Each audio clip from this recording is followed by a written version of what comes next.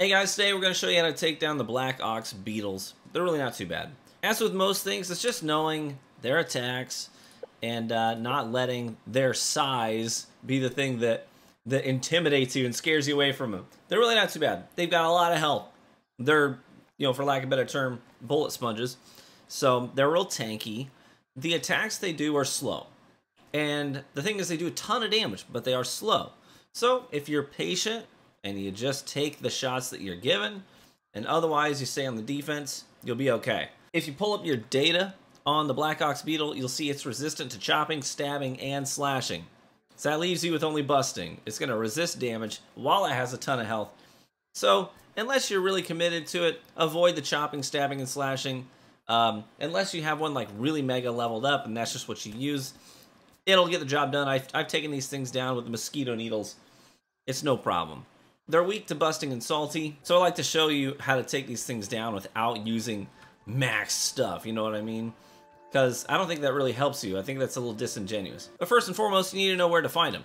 That's a picnic table, that's a charcoal grill, right? And they're up in the upper end of the yard. Back left corner back there, you got the termites and uh, all that business. If you pull up the map, they're up in here. There's like these deep ravines and they kind of just they walk around in there patrolling.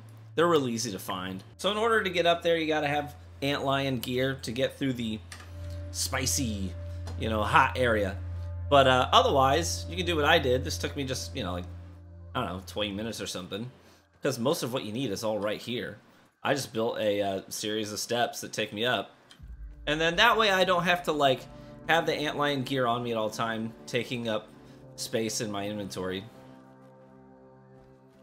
I can just walk right up here. And I have a itty bitty tiny little outpost here, just for the very basic needs. You can always just reset your spawn point as well. That way, if the thing does kill you, you're good to go. So you can always just like build a little lean-to. Nothing fancy. So there's usually one prowling right down. Yeah, he's right there. See him? He's right down there. The only problem is I don't like aggroing the larva guys because they're just annoying and they can make you burn. Well, and that's what I didn't want to happen. Let's go ahead and take down the little uh, larva first. So you kind of want to make sure that the area is clear before you start fighting the beetles. Alright. I actually have my axe out still. Okay, so his lateral attacks, where he's shaking his head and stuff, those are the ones that happen quickly. Most of them, like, he's gonna wind up. Look at this. So easy. Plenty of time. And he does that move, I don't... Oop. Okay, so now you're getting his, his, like, full inventory. He just did four in a row that were different attacks. He's got the charge one. He's got his... There. That's his, that's all of his attacks. You just saw all of them. he does these lateral ones, which if you're playing with a group, they gotta look out for. Because a lot of times they'll they'll try to like flank him on the sides, and then he'll do the lateral attacks and hit your buddies who are on the sides. Then he's got this one where he throws a rock at you. They're all really slow though, you see? So I'm not like going hard here or anything. I just wanted to show you guys, like just be patient a lot of people will try to rush these things, and that's when they get in trouble. I'm just using a black ant shield as well. I will tell you that if you do play the slow patient game with a black ant shield, you're gonna want to make sure you've got more black ant parts on hand at, at your base. because the, these guys will chew through your shield pretty quickly. Two or three of these fights and you're gonna be ready to have a new shield. Oh. So we've got him down to like, he's just over half right now. And I could be, I could be a lot more reckless than I'm being right now too. I'm not even using the hammer either. He's backing that dump truck booty up. But if you let him hit you too many times, you're gonna start feeling it for sure. Oh, he's stunned. He's really weak. Oh, we aggroed another one.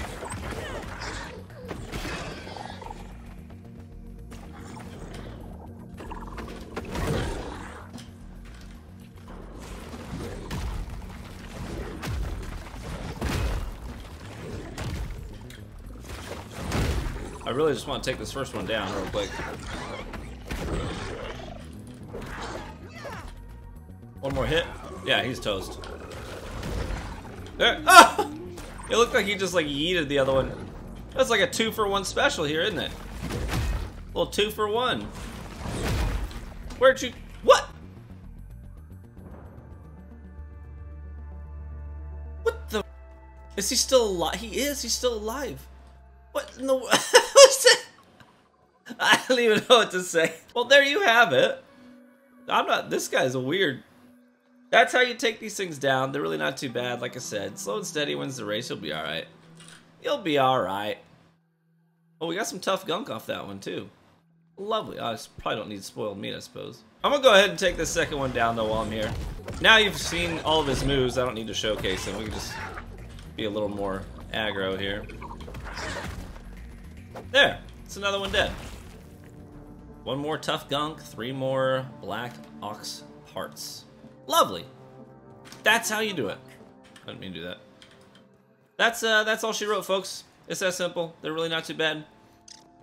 They do big damage, but they're real slow. So if you take it slow, you'll be okay. And I like to do it up here because it's a it's a nice controlled environment, right? A lot of open space up here on these rocks. Makes it a little bit easier to manage. When you've got all the tall grass stalks in the way, sometimes it's hard to read his tells and see his movements.